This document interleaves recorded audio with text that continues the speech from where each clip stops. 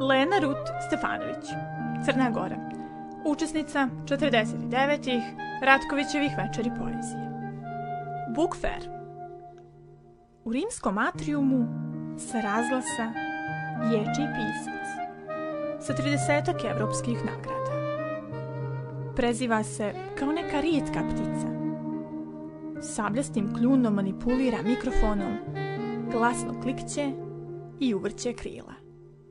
Malobrojnoj publici kaže baš je sretan što je opet tu.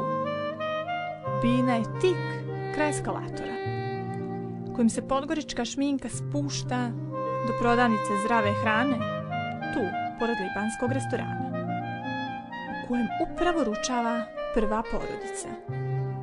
Ti piješ institutsku rakiju u bulevaru Šejka Zahida, na internacionalnom sajmu, na kojem nema Krakiwaca Knik.